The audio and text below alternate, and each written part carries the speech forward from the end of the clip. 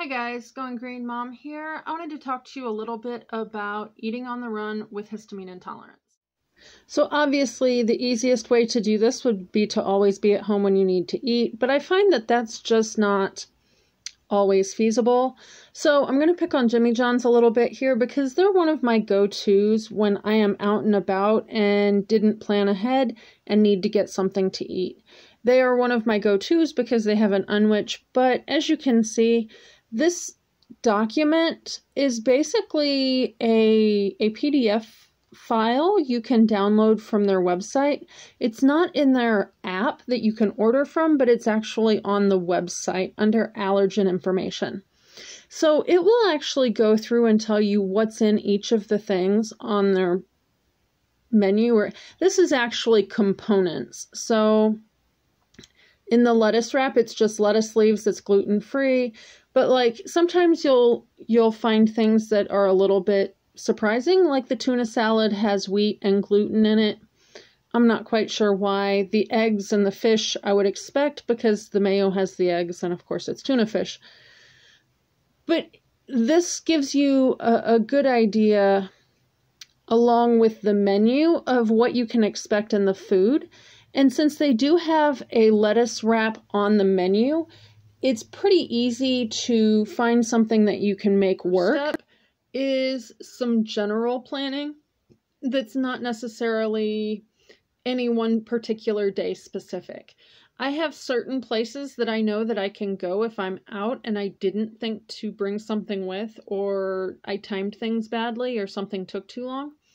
I can go to Jimmy John's and I can safely order an unwich and I know that I can get like a turkey no um tomato, and that would be a fairly safe option for me. It's still not great just due to the fact that it's lunch meat and things and and so forth, but overall, it's a good option. So another place I can go often is McDonald's. Something like a McDouble I can see. Oh, and so I figured that they actually had fillers in their burgers, but they are apparently a 100% beef patty. I would also order this without the bun. And then at that point, I've got a processed cheese, pickle, ketchup, onions, and mustard. So the onions are fairly safe and and okay. I have mild reactions to both mustard and ketchup. And the pickles, for whatever reason, I don't seem to react to pickles, even though I will react to the vinegar in the ketchup and the mustard and small amounts of vinegar elsewhere. I don't seem to react to pickles. I have a feeling it has something to do with the dill, um, but I really don't understand that. But I could get a McDouble with no bun, and I'll have minor reactions, but not major ones. And you could obviously um, also go ahead and get, you know, other stuff left off of it. But as you can see, their website goes through all of the stuff in each of these things as well. There are also some other options I have at McDonald's, and McDonald's actually probably gives me some more choices than other places because I could do a bunless McDouble, and it's probably safest if I was to hold the bun, ketchup, and mustard on that. I don't, honestly. Um, my tongue will feel raw for a little while um, and that's usually the extent of my issues with the ketchup and mustard. So obviously, that depends on what your reactions are to some of this. Most places, including McDonald's, from what I can tell, they're going to store their burgers frozen and cook them from frozen. So to some degree, unless they are advertising that they make their patties fresh every day, and there are some places around here that do that, generally speaking, that's not a huge concern. Same thing with like chicken on a chicken salad. You can often get a a grilled chicken salad and the one caveat I would have there, most of those salads are made up for a day or two at a time, even if they're made up in house. So you're going to have questionably old um, lettuce and veggies it's also sometimes a question as to whether or not you can actually have them give you something holding something else. So say I was to order a a grilled chicken salad, hold the tomato, hold the corn cuz for them it is often some sort of a southwest salad that has that option on it and it would have corn on it. Well, the corn's going to be high lectin, so are the tomatoes. You would want to do your best to hold those items. The ketchup in the McDouble is actually, most of those things um, are going to be done in a like a number 10 can or something of that sort. So they've actually probably been pressure canned. So not as much of a concern about the tomato and the ketchup. But to have a raw tomato on a salad or on a burger somewhere, that would be more problematic for me. Something else that might be a good idea for some people is if you can get sweet potato fries. They wouldn't have the amount of lectins that would be found in regular fries. You would need to watch what they are salted with, as iodized salt is often a liberator.